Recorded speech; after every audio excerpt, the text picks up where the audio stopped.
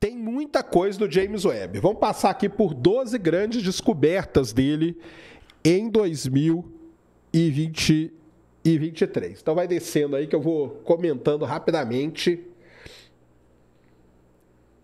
Muito bem. Então para ali, ó, a primeira, ele descobriu esses jatos aí, esses jet streams na atmosfera de Júpiter, né? A atmosfera de Júpiter que ela é muito muito complexa tem muitas nuvens, tem muito vento e tudo mais, e o James Webb conseguiu descobrir esses jet streams equatoriais ali, ó. Isso aí é um negócio muito interessante porque nos diz muito sobre como é a atmosfera de Júpiter. Então, uma grande descoberta aí do queridíssimo James Webb. Vai descendo aí.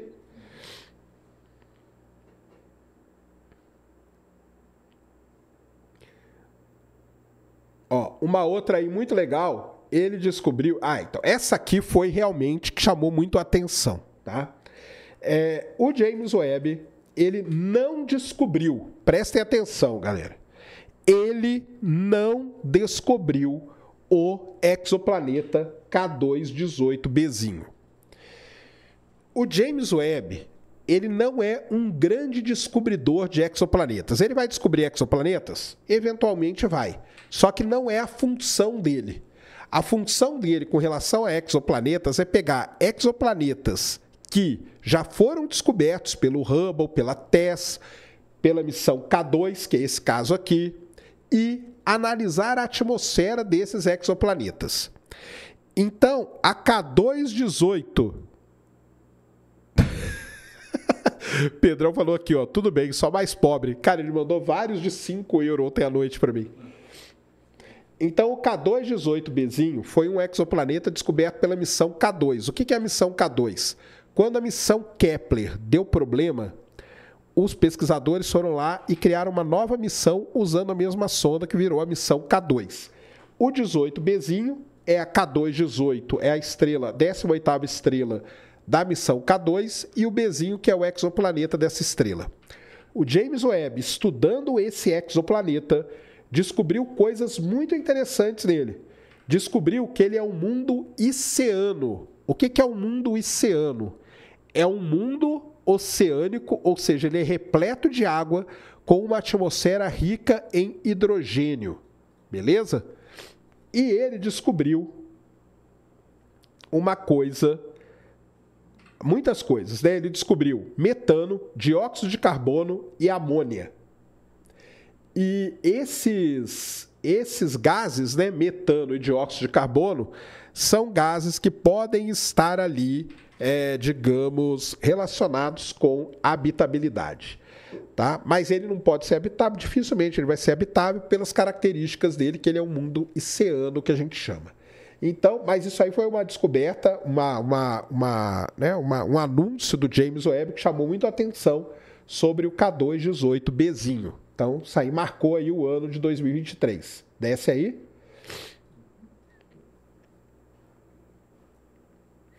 Muito bem. O James Webb também, ele, além dele observar galáxias que estão muito distantes, planetas e tudo mais, ele, ele observa pequenos objetos do sistema solar. E ele conseguiu descobrir um pequeno asteroide. Esse aí, lógico que isso é um desenho, logicamente, né, uma impressão artística, não é a foto dele. Esse aí foi o menor objeto já descoberto. O James Webb conseguiu descobrir esse objeto que tem o tamanho ali do monumento de Washington que eles falam, que está entre Marte e Júpiter. Então tá aí uma outra descoberta legal do James Webb. Vai descendo. Muito bem. Essa aí é a que deu aquele grandíssimo problema, tá? O James Webb encontrou lá no início do universo, quando a gente imagina que as galáxias ainda não estão muito bem desenvolvidas, ele encontrou seis galáxias, que são essas aí, ó. As seis galáxias que estão ali entre 500 e antes de um bilhão de anos, né? As famosas seis galáxias que desafiariam os modelos cosmológicos. Muito bem. Então, prestem muita atenção no que eu vou falar agora. Muita atenção. Uma coisa é você olhar para isso aqui, ó, que são imagens. Imagens na astronomia a gente chama de fotometria. Fotometria, o telescópio vai lá e faz a foto e existem técnicas que você analisa aquela imagem e chega na distância até a galáxia. Qual é o problema? O problema é que essa técnica de estimar distância baseado na fotometria, ela não é muito precisa. Então, a primeira vez quando chegaram as imagens dessas seis galáxias e só por fotometria elas foram analisadas, elas davam problemas para a cosmologia. Porque pela fotometria indicavam que eram galáxias muito antigas. Beleza? Ponto. Parágrafo. Passado um tempo, o James Webb observou as galáxias usando espectroscopia, que é fazendo o espectro da galáxia. Ah, Sérgio, por que ele não faz tudo de uma vez? Não sei, não sou eu que tomo conta do James Webb, não sou eu que escolho os trabalhos. Existe uma fila, existe uma maneira de você usar os instrumentos. Primeiro você pede de um jeito, depois você pede de outro. Fizeram a espectroscopia. Pela espectroscopia, a gente mede uma coisa chamada redshift, que é o quanto o espectro está desviado para o vermelho. Por essa medida de redshift, que é uma medida muito mais precisa do que a fotometria. Lembrando que a fotometria ela não dá medida de distância, a gente estima a distância a partir de algumas contas que a gente faz daquela imagem. Pela espectroscopia, eu tenho a distância com exatidão. E quando fez isso, o que, que aconteceu? As galáxias não tinham aquela distância. Uma ou outra só, só que Aquelas, uma ou outra, elas estavam dentro dos modelos, do que os modelos cosmológicos preveem para a galáxia.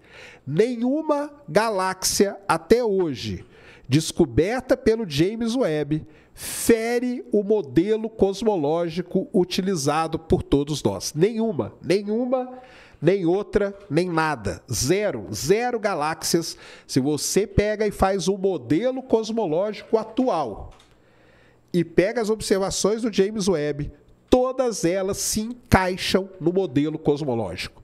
O modelo cosmológico não é violado por nenhuma galáxia estudada pelo James Webb, nenhuma, tá?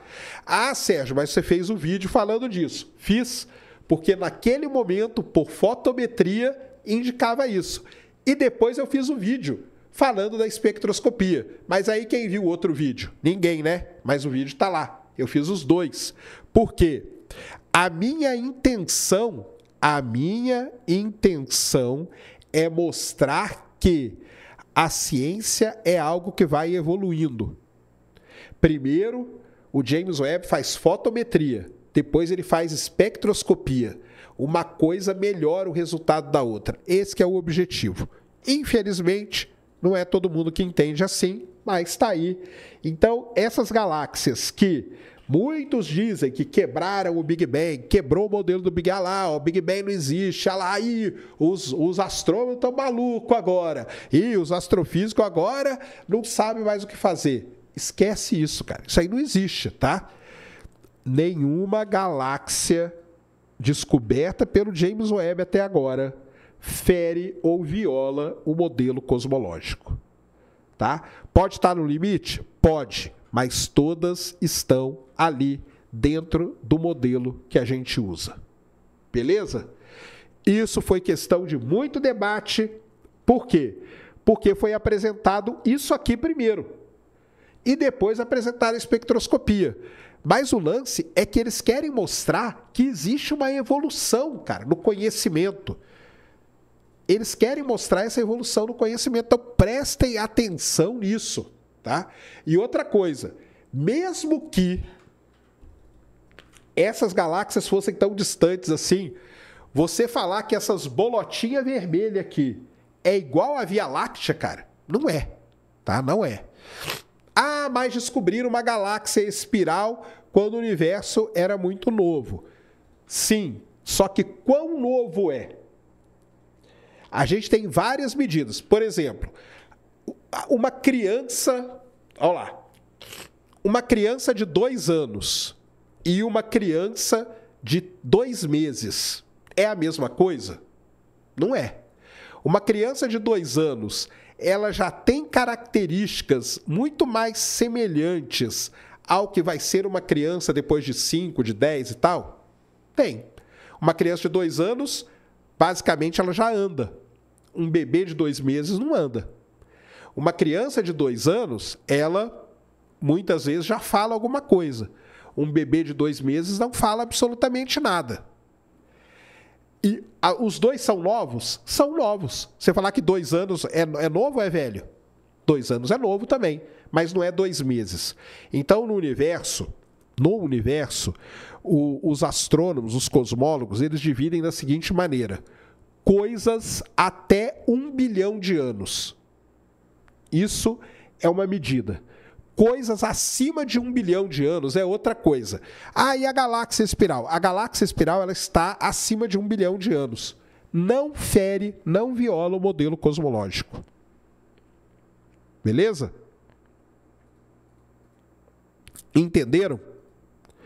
Então tá aí explicado o lance das galáxias que criou toda essa confusão. Continua descendo aí, Cris. Então, aqui, né, o, o cara pôs até aqui, ó, pra falar que eu não estou mentindo, né? Ah, o Sérgio é desonesto, ele não fala tudo. Na legenda está escrito ali, ó.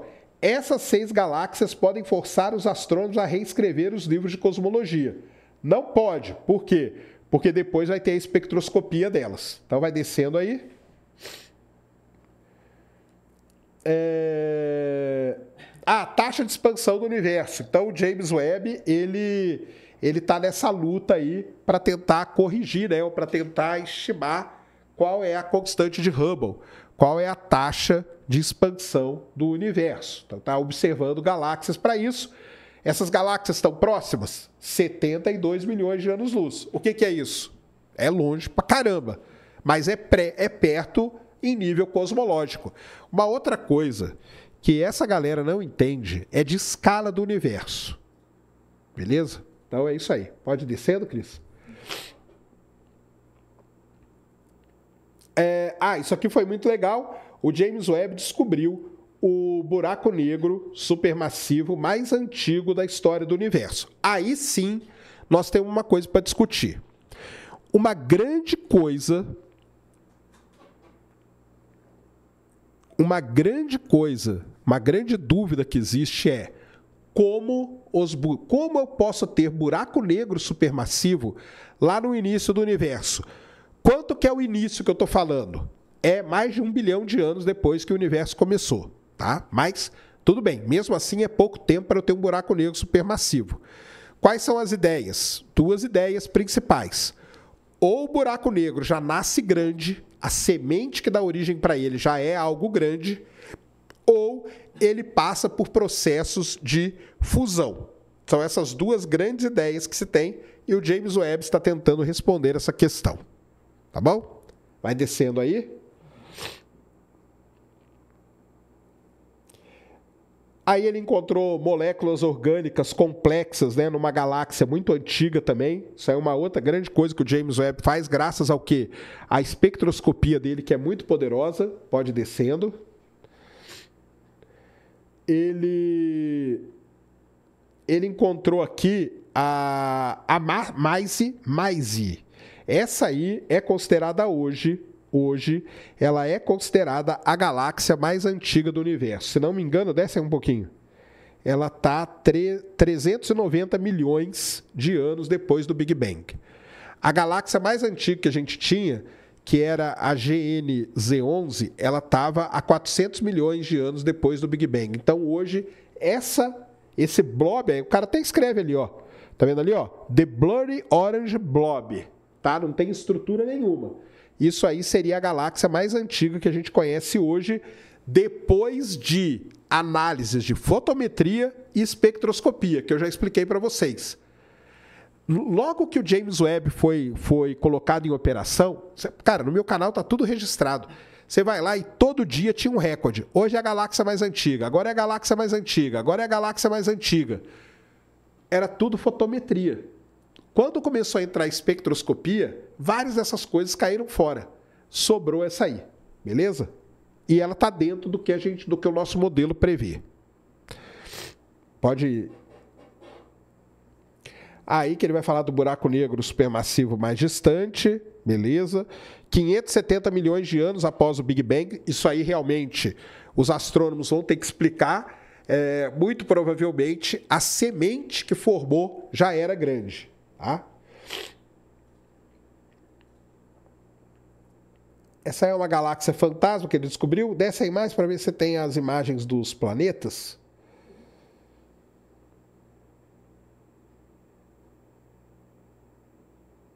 Ah, ah, isso aqui que é a galáxia espiral que eu falei para vocês, ó, que está lá no início do universo. Desce aí um pouquinho.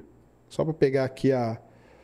Arará. Ó, olha a diferença, ó.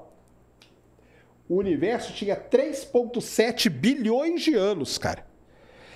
Então, uma coisa é um universo com menos de um bilhão de anos. Outra coisa é um universo com 3,7 bilhões de anos. Ah, é um universo novo ainda? É um universo novo. Mas é o que eu falei para vocês. Você está comparando um bebezinho de um mês que não sabe falar, que não sabe comer, que só toma leite, que, que não sabe andar. Isso é um bebê de um mês com um bebê de dois anos. Os dois são bebês? Os dois são bebês. Só que o de dois anos já sabe andar, muitas vezes já sabe falar, já come comida sólida, já tem várias outras coisas que o bebezinho de um mês não tem. Então, uma coisa é eu falar de coisas que estão a menos de um bilhão de anos do início do universo, outra coisa é eu falar de uma galáxia que está a 3,7 bilhões de anos. Então, isso as pessoas não conseguem entender, porque eles acham que o início do universo é tudo lá o iníciozinho, mas não é assim, cara. Tá? Não é assim. Desce mais aí. Beleza. Então, eles não colocaram aí as imagens muito legais de. Deixa eu ver se eu acho aqui. Foi Urano, né, cara? Urano, que foi semana passada. O James Webb, cara, ele fez uma imagem muito, muito linda mesmo de Urano. Deixa eu colocar aqui, ó.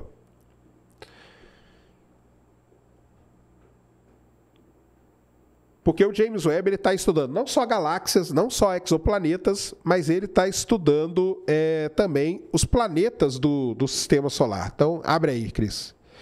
E essa imagem que foi publicada semana passada, semana passada, dia 18? É, né? Semana passada. É uma, é uma imagem muito legal de Urano. Olha só que coisa linda. Vai descendo aí.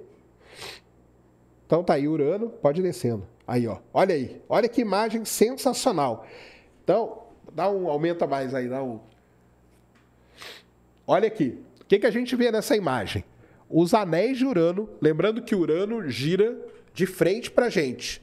Ele não, ele não gira de lado, ele gira de frente para a gente. Tá bom?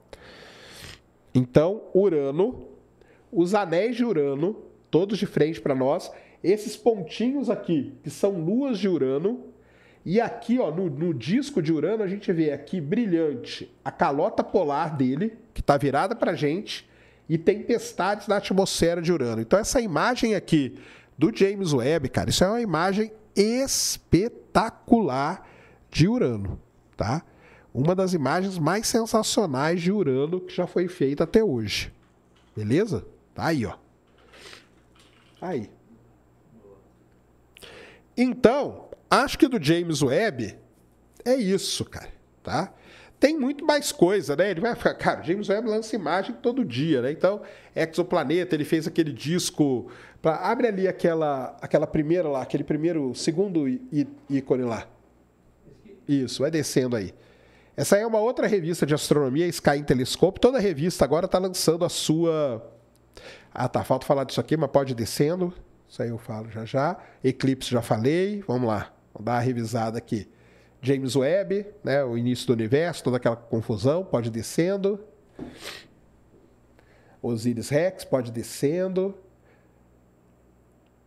Ah, tá, o Sol pode descendo. Poluição pode descendo. Vulcão em Vênus já falei. A Lua já falei. K218. Ah, tá. Aqui, ó, uma coisa legal que o James Webb fez foi isso aqui, ó. Falando de exoplanetas, tá? E ainda falando do James Webb, o, o James Webb estudou dois planetas do sistema Trappist, tá? O Trappist 1b e o Trappist 1c. E sabe o que ele descobriu? Infelizmente não tem atmosfera, tá? Então isso aí é, é triste, tá? Ó, sem atmosfera. O sistema Trappist, que era um sistema imaginado por nós que seria é, um sistema cheio de, de vida, né? não tem atmosfera nesses dois planetas aí. Desce mais um pouquinho. Não, tá beleza. É, então, é, então é isso aí. Acho que do James Webb é isso, tá? É, é, descoberta, cara. Se for no meu canal, toda semana tem pelo menos uns dois vídeos do James Webb. Tem coisa pra caramba, tá? E, e vai continuar. E vai continuar. Tá bom?